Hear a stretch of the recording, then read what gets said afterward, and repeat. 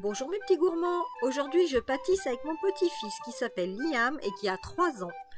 Il a choisi les ingrédients et on s'est amusé à créer une recette tous les deux. J'espère que ça va vous plaire, je vous laisse avec les ingrédients et la suite en vidéo.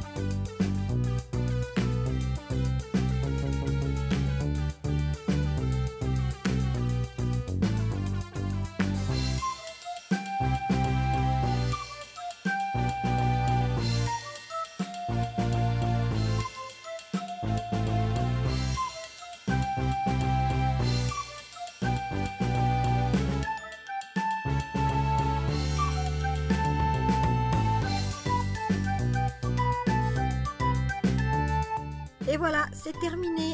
Alors, c'est pas super super, mais c'est fait avec amour et je me suis bien amusée avec mon petit-fils. Donc, s'il y a des mamies parmi euh, mes internautes, vous pouvez essayer de le faire. Vous allez voir, ils adorent ça, c'est trop rigolo. J'espère que la recette vous a plu. N'oubliez pas les petits pouces bleus et je vous dis à très bientôt pour une nouvelle recette.